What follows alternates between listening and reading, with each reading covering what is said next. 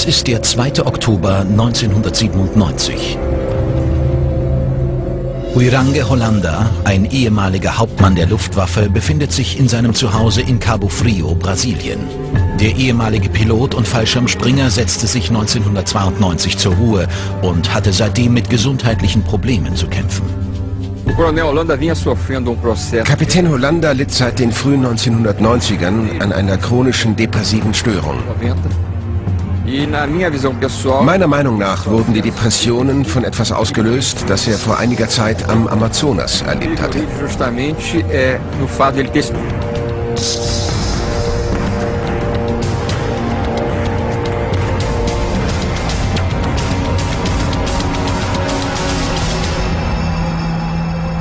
Als seine Tochter in jener Nacht die Treppe zum Zimmer ihres Vaters hinaufsteigt, bietet sich ihr ein Bild des Grauens. Ihr Vater ist tot. Er scheint sich erdrosselt zu haben. War dieser Selbstmord durch seine psychische Störung bedingt oder durch etwas Unheimlicheres? Erst zwei Monate zuvor hatte der Hauptmann den UFO-Forschern A.J. Javert und Marco Petit ein Exklusivinterview gegeben. Beide Männer untersuchen und dokumentieren Begebenheiten mit UFOs. Dieses Objekt kam Richtung Polaris. Als es weiter flog, wirkte es, als würde es den Amazonas mit Streifen überziehen. Dahinter steckte etwas Intelligentes. Nach einem viermonatigen Einsatz bekamen wir die Order aufzuhören. Einige UFO-Experten bleiben dabei, dass Hauptmann Hollander sich nicht selbst tötete, sondern ermordet wurde, weil er zu viel erzählt hatte. Von einer Reihe beängstigender Begegnungen mit UFOs, die sich 20 Jahre zuvor im Dschungel des Amazonas ereignet hatten. Einige davon endeten angeblich tödlich. Er gab einen Augenzeugenbericht ab über seinen Einsatz als Militär, der eine der ernstzunehmendsten Operationen auf dem Gebiet der Ufologie befehligt hatte. Es geht um etwas, von dem die Luftwaffe nicht möchte, dass es enthüllt wird. Ich glaube nicht an Selbstmord. Hollanders Tod hat mit etwas jenseits des Normalen zu tun. Er hinterließ uns die ganz klare Aussage, dass wir Besucher haben.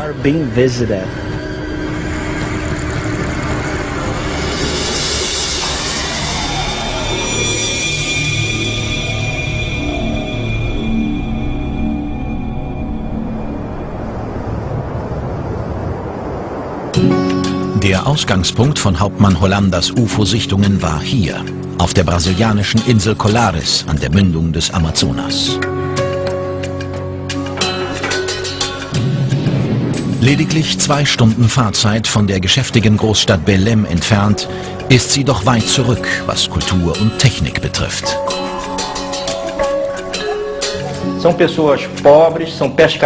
Das sind arme Leute, Fischer und Bauern, die ein sehr friedliches Leben führen.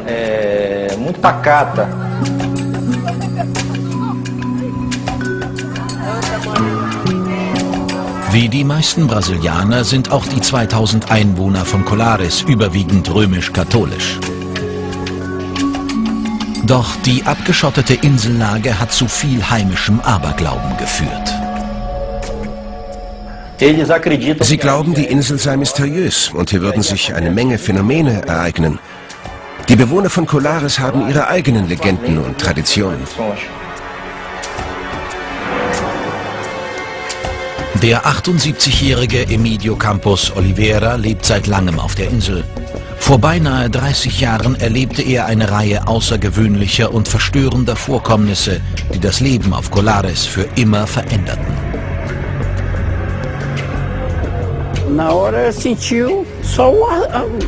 Ich konnte es spüren, als das Licht weg war, dieses Brennen. Da war es. Ein kreisförmiges Mal. Es war schwarz und in der Mitte rot.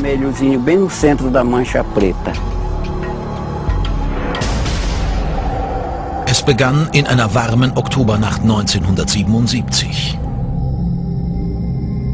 Gegen 23 Uhr ist Oliveira bettfertig. Seine Frau gibt ihm einen Gute-Nacht-Kuss, als er sich zum Schlafen in eine Hängematte im Wohnzimmer legt. Plötzlich durchflutet ein Lichtstrahl das Zimmer. Er scheint von oben zu kommen. Er ist so stark, dass er die Keramikziegel auf dem Dach durchdringt. Vor meinen Augen erschien ein helles Licht. Es drang durch die Decke über mir, traf mich am Oberschenkel und versenkte ihn. Das Licht war gleißend hell.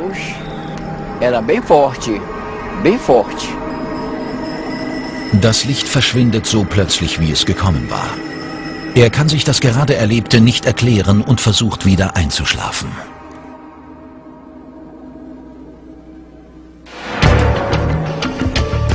Einige Tage später.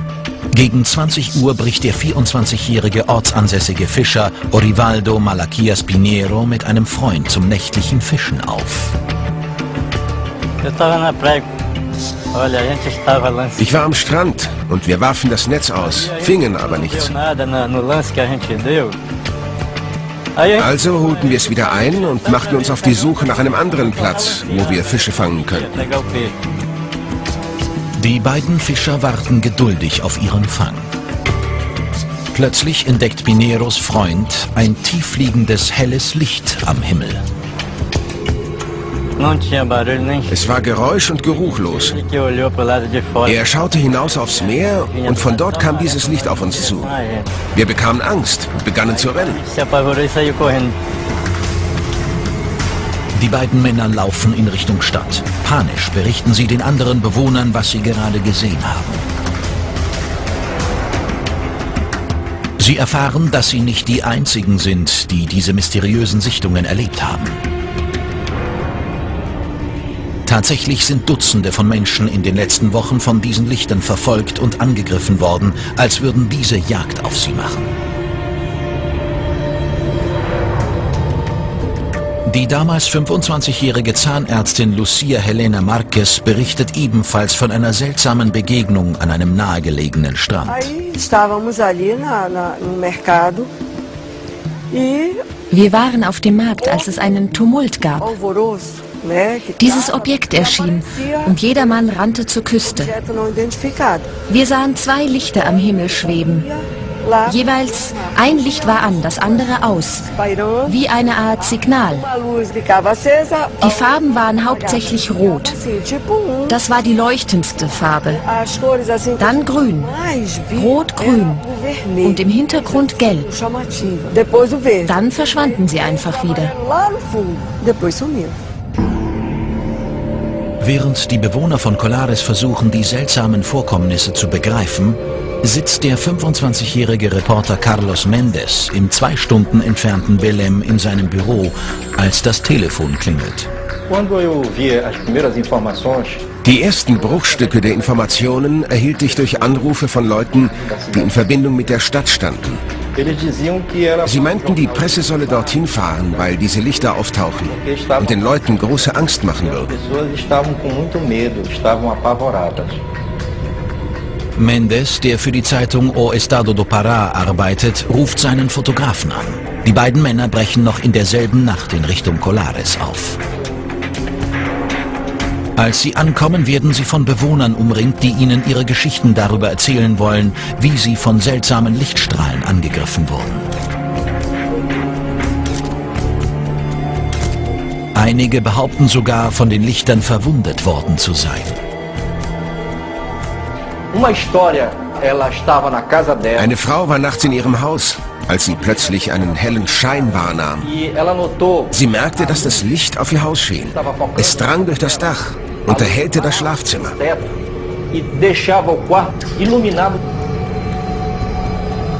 Die Frau erzählt, dass ihre Arme und Beine gelähmt waren. Tags darauf bemerkte sie etwas Seltsames auf ihrer Brust. Ihre Brust wies Male auf, als hätte jemand mehrmals hintereinander mit einer Nadel in diesen Bereich gestochen.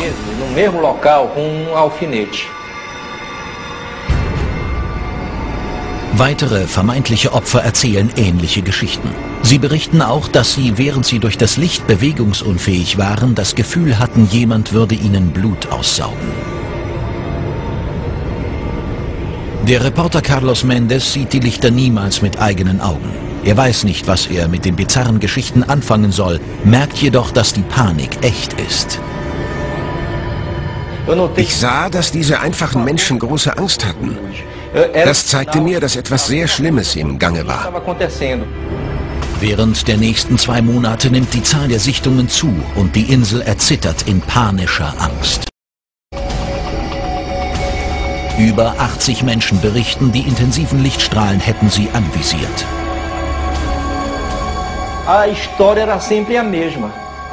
Die Geschichte war stets dieselbe. Die Lichter kamen aus dem All, sogen sich an den Leuten fest, lähmten sie und verletzten sie dann. Sie konnten nicht begreifen, warum sie angegriffen worden waren, berichteten aber von einem gewalttätigen Übergriff. Ich versuchte zu verstehen, warum das geschah und ob die Lichter den Menschen tatsächlich erschienen waren. se aquilo realmente estava aparecendo para todas as pessoas. Die Einwohner sind so verängstigt, dass viele Frauen und Kinder die Stadt verlassen. Ein paar Männer errichten den Strand entlang Lagerfeuer und halten Nachtwache.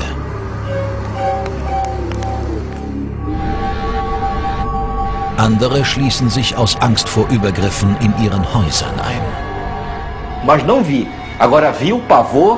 Ich sah den Menschen die Furcht und panische Angst an und die Bitte, ihnen zu helfen.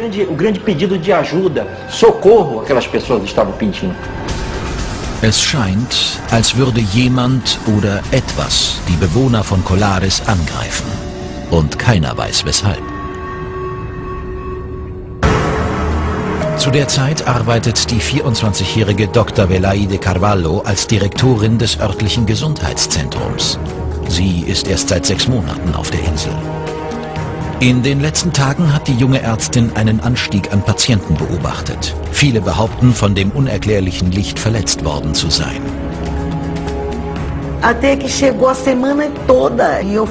Kontinuierlich kamen Leute und ich war irritiert, weil ich dachte, es würde eskalieren. Ich hielt es für eine Massenhalluzination. Die Fälle häuften sich, doch ich blieb skeptisch. Ich dachte, alle wären aus irgendeinem Grund verrückt geworden. Die Symptome, die die Ärztin sieht, sind alle gleich. Die Patienten weisen immer auf etwas, das wie Strahlungsverbrennungen und ungewöhnliche Einstichmale aussieht. Der Arzt Daniel Rebiso Giese hat die Ereignisse auf Colares untersucht. Die Male waren in der Regel auf Höhe des Brustkorbs, Schultern, Brust. In einigen Fällen am Oberschenkel, am Bein. Für gewöhnlich handelte es sich um kleine Verbrennungen. Sie waren nicht großflächig, maximal 15 cm im Durchmesser. Dr. Velaide entdeckte kleine warzenartige Erhebungen, die aussahen wie zwei kleine Einstichstellen im Bereich der Wunde.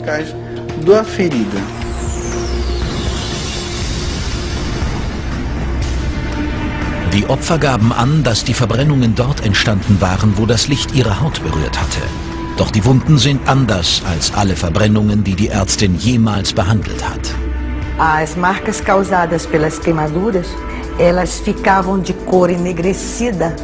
Die durch die Verbrennung entstandenen Male wurden sehr schnell schwarz, als wären sie schon um die zehn Tage alt. Oft waren jedoch seit ihrer Entstehung erst zehn Minuten vergangen. Doch die beunruhigendsten Fälle der Ärztin sollten erst noch kommen. Im September untersucht sie eine Frau, deren Verwandte behaupten, sie wäre in ihrem Haus von einem hellen Licht angegriffen worden. Sie wurde von ihren Angehörigen hereingetragen. Sie hatte bereits Krämpfe, wie bei einem Herzstillstand. Ihr Mund und ihre Augen waren fest geschlossen und sie hatte überhaupt keine Reflexe. Carvalho versucht die Frau zu stabilisieren. Doch ihr Zustand bessert sich nicht. Wir konnten nichts weiter tun. Wir hatten keine Ambulanz, also blieb uns nichts anderes übrig, als sie ins Auto zu legen und nach Belém zu fahren.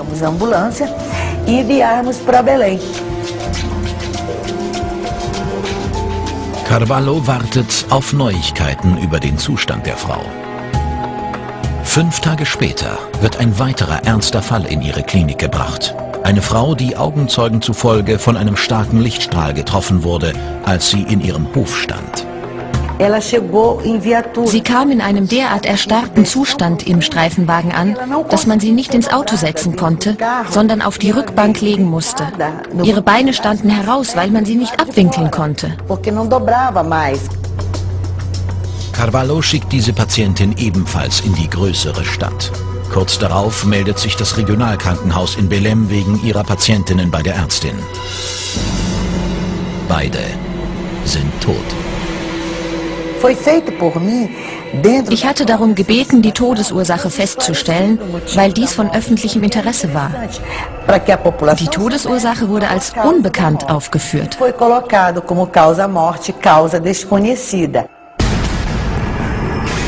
Carvalho glaubt noch immer nicht, dass ihre Patienten von Lichtstrahlen angegriffen worden sind. Sie vermutet, dass die wachsende Hysterie bezüglich der Sichtungen zu einem Herz- oder Schlaganfall geführt haben könnte. In der Hoffnung, der Panik ein Ende zu bereiten, bitten Carvalho und weitere städtische Beamte den Bürgermeister um Hilfe. Im September tritt der Bürgermeister in Kontakt mit dem Stützpunkt der regionalen brasilianischen Luftstreitkräfte Comar. Daraufhin erhält Hauptmann Uirange Hollanda von Comar die Order, eine Gruppe von Luftwaffenoffizieren zu leiten, die die seltsamen Vorkommnisse auf der Insel untersuchen soll. Laut Reporter Carlos Mendes, der die Vorkommnisse auf Colares erforscht, ist Hollandas Truppe möglicherweise entsandt worden, weil das Gebiet wiederholt Schauplatz von Guerilla-Übergriffen seitens kommunistischer Rebellen gewesen ist. Der Reporter ist der Ansicht, dass die Luftwaffe annimmt, die Lichter würden durch den Einsatz von Waffen im Dschungel hervorgerufen und dass Hollanda den Auftrag erhält, die Rebellen aufzuspüren. Ich bin der Ansicht, die Militärs sollten auf Colares in erster Linie untersuchen, ob es subversive Aktivitäten seitens kommunistischer Agenten gab. Die Operation erhält jedoch einen seltsamen Namen. Hauptmann Hollanders Mission heißt Operation Untertasse. Schnell stellt er eine Mannschaft zusammen. Der damals 37-jährige Zivilist Pignon Frias ist als Pilot mit dabei. Es gab den Verdacht, dass es sich um eine Art Apparatur handelte, die den brasilianischen Luftraum verletzte. Wir wussten nicht, aus welchem Land sie stammte, doch irgendetwas verletzte die Lufthoheit. Die Luftwaffe war verpflichtet zu prüfen, was das war. Anfang September trifft Hollandas Truppe, bestehend aus Militärs, Ingenieuren und Wissenschaftlern in Colares ein. Die Männer errichten Lager und stellen Teleskope und Kameras an den nahegelegenen Stränden auf. Ihre Unternehmungen finden unter den Augen der Inselbewohner statt, in der Hoffnung, die Angst zu vertreiben, die die Insel erfasst hat. Als wir auf Colares ankamen, herrschte in der Stadt völlige Panik. Die Bevölkerung schlief nicht mehr vor lauter Angst. Trotz unserer Bemühungen konnten wir sie nicht beruhigen, besonders nicht die älteren Einwohner, von denen einige schon von den Lichtstrahlen getroffen worden waren. Gleich nach dem Eintreffen auf der Insel versucht die Mannschaft der Operation Untertasse so viele Informationen wie möglich zu sammeln. Hauptmann Hollander begibt sich umgehend zu Dr. Carvalho. Als erstes machten mir die Leute von der Luftwaffe, als ich sie um 6 Uhr morgens empfing, den Vorschlag, ich solle der Gemeinde von nun an sagen, dass es sich bei allen Fällen von betroffenen Menschen um Massenhysterie handle.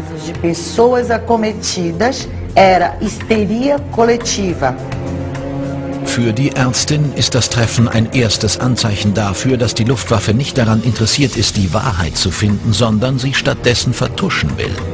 Carvalho weigert sich, bei dem Plan mitzuspielen. Ich konnte keine Gemeinde betrügen, die so viel von mir erwartete, besonders Unterstützung und Glaubwürdigkeit. Hollander trifft sich auch mit örtlichen Augenzeugen. Einer von ihnen ist der 48-jährige Emidio Campos Oliveira. Der Bewohner sagt, er wäre vom Licht am Oberschenkel verbrannt worden. Sie besuchten mich und fotografierten die Stelle, wo ich getroffen wurde. Die einzigen, die meine Male sahen, waren die Männer der Luftwaffe. Die Sichtungen dauern die nächsten vier Monate an. Hauptmann Hollanders Truppe beschäftigt sich mit dem Sammeln von Informationen durch Zeugen und Stadtbeamte. Ihre Überwachungsausrüstung ist 24 Stunden täglich in Betrieb. Doch die Luftwaffe macht ihre Ergebnisse nicht öffentlich zugänglich. Diejenigen, die glauben, Operation Untertasse würde bei der Aufdeckung der Wahrheit helfen, sind enttäuscht. Einige glauben stattdessen, die Vertuschung hätte bereits begonnen.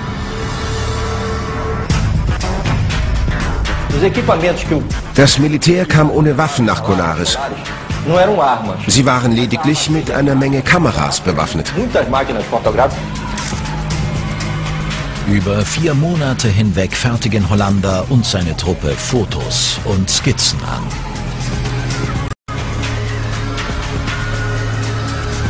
Dies sind ihre Originalzeichen.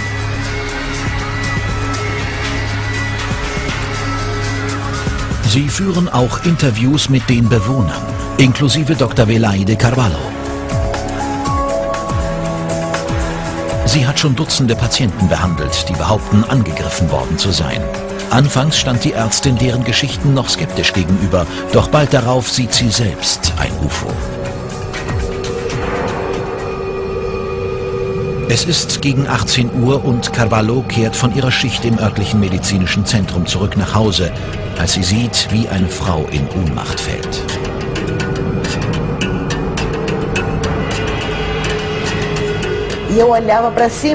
Ich blickte nach oben und sah das Objekt, das ich abgestritten hatte, woran ich nicht glaubte und was ich für das Produkt von Delirium, Verrücktheit und Fantasiegespinsten hielt. Ich sah das Objekt auf einer Höhe von ungefähr zehn Stockwerken. Das Objekt ist zylinderförmig und Carvalho fühlt sich wie gelähmt durch das, was sie sieht. Es hatte weder die Farbe von Edelstahl oder Silber, noch die Farbe von irgendetwas anderem.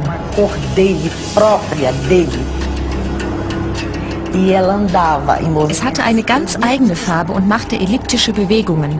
Es war direkt über meinem Kopf, vollführte eine Ellipse und kam wieder zurück. Laut Augenzeugenberichten empfängt die Luftwaffe genau zu diesem Zeitpunkt ein Signal auf einem Radar, das die Männer an einem naheliegenden Strand aufgestellt haben. Als die Truppe herbeieilt, um ihre Teleskope und Kameras scharf zu stellen, verschwindet das Objekt. Es drehte zur Bucht ab und verschwand in Richtung Meer. Hollander und seine Mannschaft führen ihre Observationen auf Golaris fort. Sie sammeln über 500 Fotos und 15 Stunden Filmmaterial. Was sie zu sehen bekommen, erscheint ihnen wie helle Lichter am Himmel.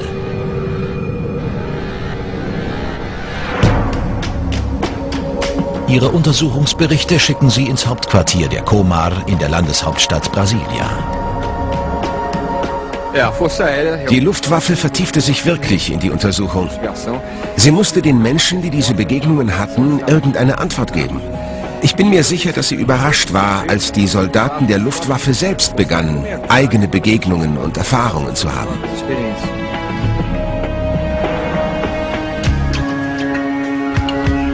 Im Dezember 1977 arbeiten die Ufologen A.J. Javert und Marco Petit intensiv an der brasilianischen Ausgabe des UFO Magazine, als sie von den Geschichten aus Colares hören.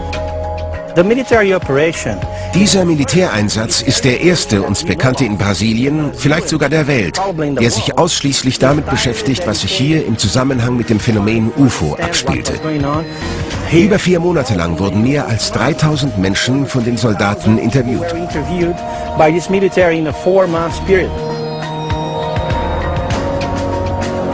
Im selben Monat erhält Hauptmann Hollander die Order, alles Material zu übergeben und zu Komar zurückzukehren.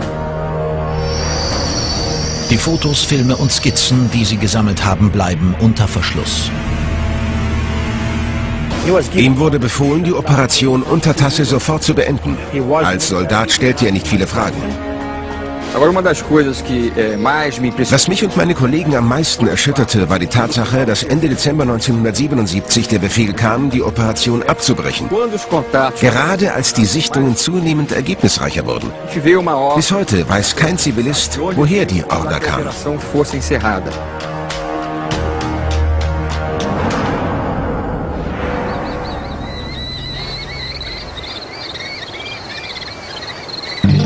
In den folgenden Monaten werden Berichte über seltsame Sichtungen und absonderliche Attacken seltener.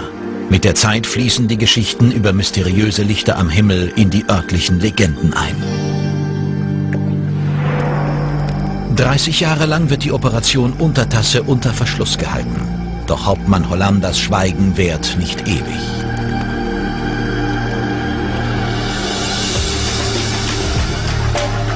1997 entschließt er sich zu einem auf Video aufgenommenen Treffen mit AJ Javert und Marco Petit in der Nähe von Rio de Janeiro. In diesem wenig bekannten Video gibt der Hauptmann einen aufregenden Bericht über die Geschehnisse auf der Insel. Dieses Schiff startete mit einer starken Explosion. Gleich einem Donnerschlag. Und gleißendem Licht in Richtung Atmosphäre. Es verschwand mit unglaublicher Geschwindigkeit zwischen den Sternen.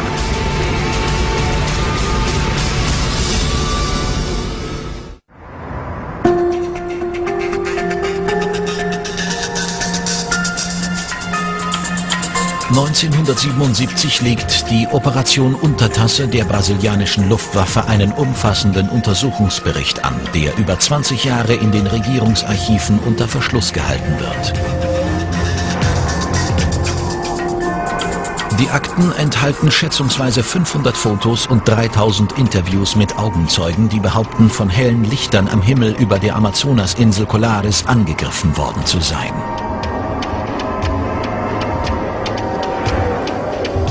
Erst 1997 beginnt sich der Schleier des Geheimnisses zu lüften.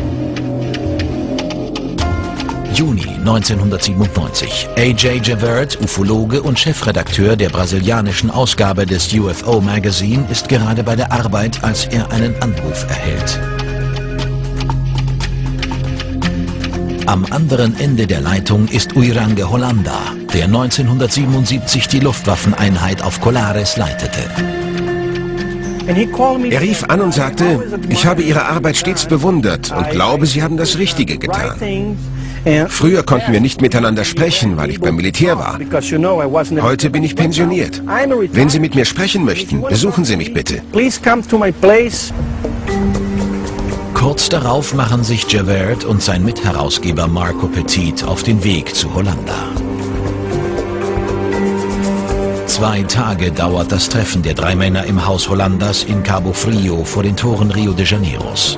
Sie nehmen das gesamte Treffen auf Video auf. Uh, er war ein Mann mit einem ausgezeichneten Gedächtnis. Er konnte Details von Dingen, die vor über 20 Jahren passiert waren, mit solcher Präzision wiedergeben, dass wir beeindruckt waren.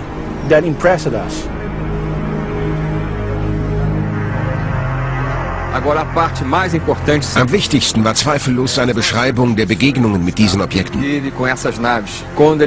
Er sah Schiffe mit unterschiedlichen Formen, die manchmal 100 Meter Durchmesser hatten. Durch solche Beobachtungen befand er sich in einer Situation, die weltweit nur wenigen Menschen zuteil geworden ist. Um barulho de wir konnten ein Geräusch, ähnlich einer Klimaanlage hören. Eine Art dumpfen Laut.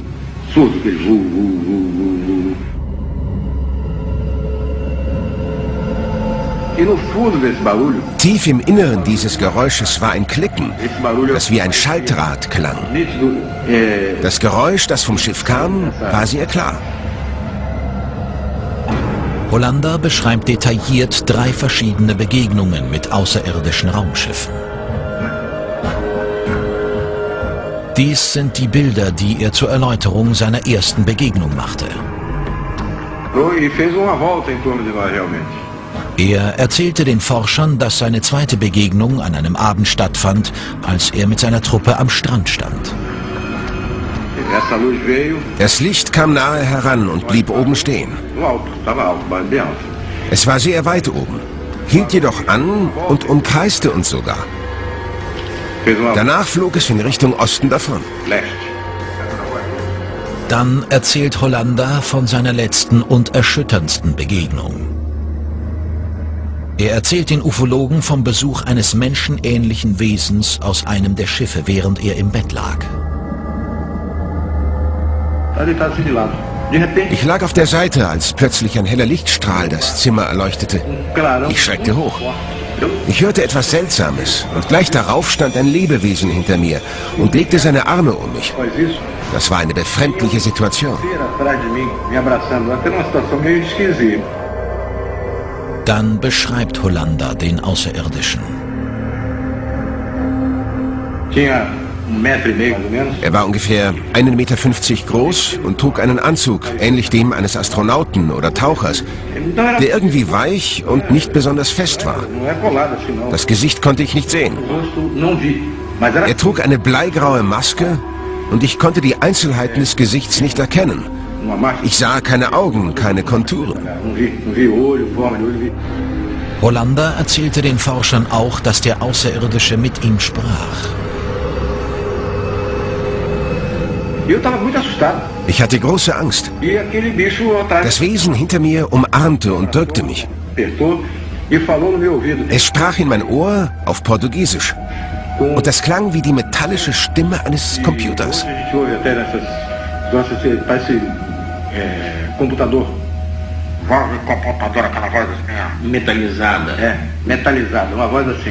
Es sagte zu mir, ganz ruhig, wir werden dir nichts tun. Hollander sagt, dass der Außerirdische im Anschluss verschwand. Er konnte uns ganz präzise sagen, was geschehen war. Es gab eine ganze Reihe von Objekten, die in diesem Gebiet agierten.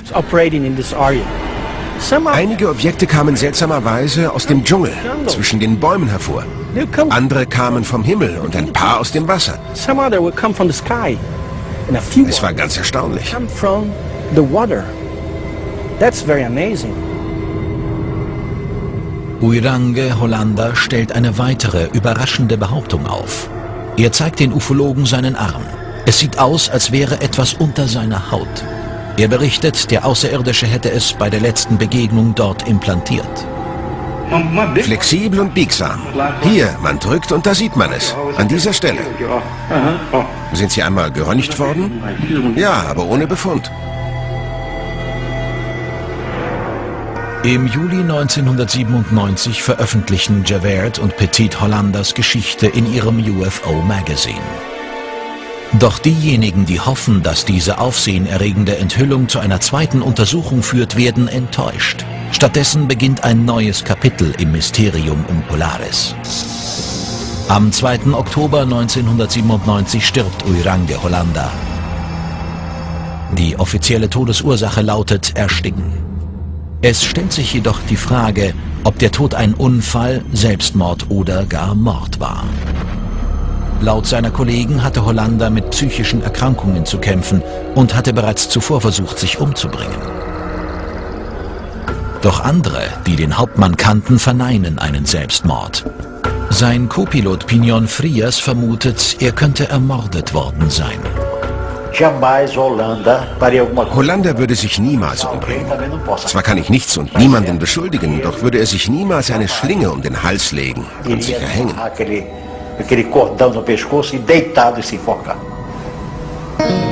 A.J. Javert ist nicht Frias Meinung. Er hat sich das Leben genommen. Er war depressiv und hat diese Entscheidung getroffen. Doch der Mann hat uns die wichtige Botschaft hinterlassen, dass wir Besucher haben und dass die brasilianische Luftwaffe, sprich die brasilianische Regierung, davon weiß. Im März 2004 beschließen AJ Javert und Marco Petit etwas zu unternehmen. Sechs Jahre nach dem Tod Uirango Hollanders verlangen sie im Rahmen der von ihnen ins Leben gerufenen Kampagne UFO Freedom of Information Now Zugang zum geheimen Colares Report. Als UFO-Forscher und brasilianischer Staatsbürger bin ich der Ansicht, dass die Art von Information, über die wir hier sprechen, nicht auf Militärakten und Militärkommandos beschränkt sein sollte. Sie muss allen bekannt sein.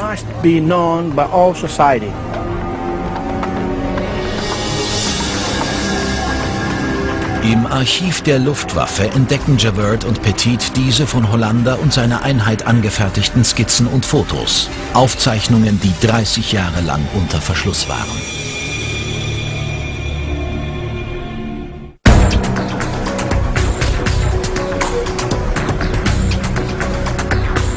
Am 20. Mai 2005 treffen die Ufologen AJ Javert und Marco Petit mit einer Handvoll weiterer Ufologen im Hauptquartier der brasilianischen Luftwaffe ein. Sie untersuchen geheime Dokumente, zu deren Herausgabe sie die Regierung gedrängt hatten. Diese Akten enthalten Informationen bezüglich der Militäruntersuchung namens Operation Untertasse von 1977. Javert und Petit nehmen an, dass die Aufzeichnungen Daten über die UFO-Begebenheiten auf der Insel Colares enthalten. Der Brigadegeneral sagte, ich habe vom Kommandanten der brasilianischen Luftwaffe Order erhalten, Ihnen alle Akten zu zeigen. Sie können alles sehen, was Sie wollen.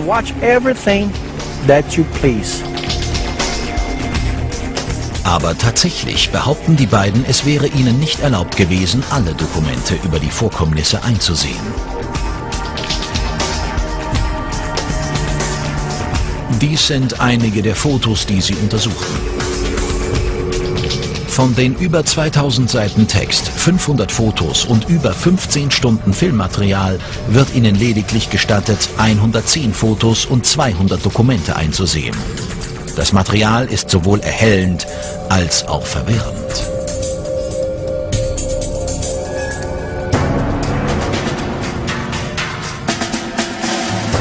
Es zeigt, dass die brasilianische Regierung viel Zeit darauf verwendet hat, die Sichtungen zu untersuchen. Die Akten dokumentieren zahlreiche Aussagen von Augenzeugen und enthalten mehr Einzelheiten, als die Ufologen jemals für möglich gehalten hätten. Javert und Petit dürfen die in den Akten befindlichen Filme nicht sehen. Doch sie entdecken Fotos, die Hauptmann Hollander, Leiter der Operation Untertasse, gemacht hat. Die körnigen Schwarz-Weiß-Fotos zeigen helle Lichter hoch oben am Nachthimmel. Was die Ufologie angeht, ist ein Foto weniger wert als tausend Worte. Man muss die Berichte der Leute analysieren, die die Fotos geschossen haben. Hauptmann Hollanders umfangreicher Bericht enthält Skizzen und Beschreibungen seiner vermeintlichen Begegnungen mit den außerirdischen Flugobjekten. Wir hatten Zugang zu unterschiedlichen Dokumenten, die die Begegnungen bis ins Detail beschreiben, auch Rekonstruktionen in Form von Skizzen. Und das nicht nur für die Fälle des Militärs, sondern auch für die der Bewohner.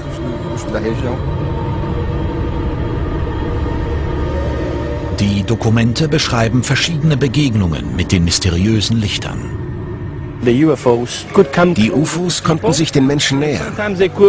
Uh, Sie konnten kleiner oder größer werden und irgendwie stärker leuchten. Uh, der Bericht schließt mit der Beschreibung der Brand- und Einstichwunden, die angeblich von den Lichtern verursacht wurden. Sie liefern aber keinen Beweis dafür, dass ein Zusammenhang besteht. Die Unterlagen lassen dies ebenso unbeantwortet wie viele andere Fragen. Sie versuchen weder die Quelle der Lichter zu bestimmen, noch die Spekulationen zu entkräften, dass sie von außerirdischen Flugobjekten herrühren.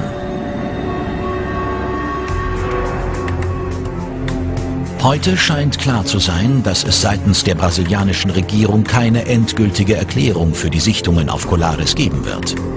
Die Luftwaffe erklärt offiziell, dass im Zusammenhang mit der Operation Untertasse ein Bericht mit unterschiedlichen Aussagen, der offensichtlich jeglicher wissenschaftlicher Grundlage entbehrt, angefertigt wurde.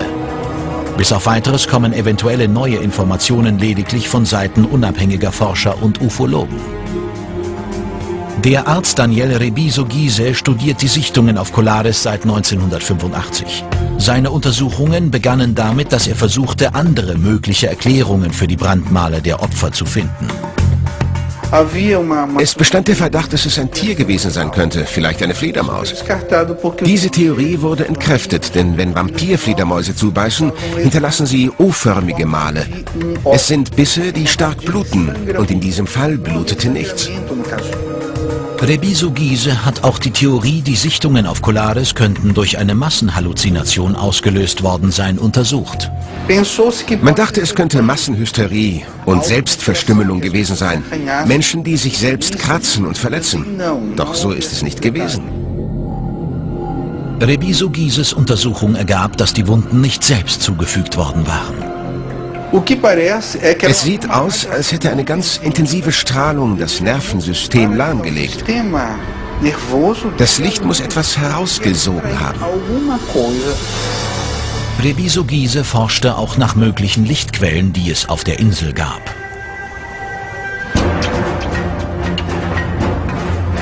Zur Zeit der Sichtungen bekämpfte die brasilianische Regierung kommunistische Guerillas im Bundesstaat Pará. Dazu gehört auch Colares. Man hegte den Verdacht, dass es sich um eine Waffe handeln könnte. Heimliche Manöver der Guerilla, die sich bestimmter Apparaturen bedienen würde, um die Bevölkerung zu verscheuchen und Waffen, Munition und Kriegslieferungen nach Pará zu schaffen. Trotz der Berichte über Guerilla-Aktivitäten liefert die Regierung weder eine Bestätigung noch eine Verneinung. Der Reporter Carlos Mendes, der sich mit den Geschehnissen auf Colares befasst hat, hat keinerlei Erklärung für die seltsamen Lichter, die die Insulaner beschrieben. Aber er meint, dass die Abgeschiedenheit von Colares und der Aberglaube ihrer Bewohner eine Rolle dabei gespielt haben könnten, die Geschichten über UFO-Sichtungen am Leben zu erhalten. Die Menschen waren geschockt und verängstigt. Und die Bewohner von Colares haben stets mit Legenden und Volkstum gelebt. Das ist typisch für den Amazonas. Das Mysterium existiert noch heute. Was flog hoch am Himmel über Colares? Und warum glaubten die Menschen, sie wären von Lichtstrahlen angegriffen worden? Ich glaube, sie entnahmen biologisches Material, vielleicht Blut, um Impfstoffe herzustellen. Eine Art Schutz für ihren eigenen Körper, ihre eigene Zivilisation. Wenn letzten Endes der Tag der Kontaktaufnahme mit den Menschen kommen sollte, wären sie nicht mehr für Krankheiten und Seuchen anfällig, die von uns Menschen ausgehen.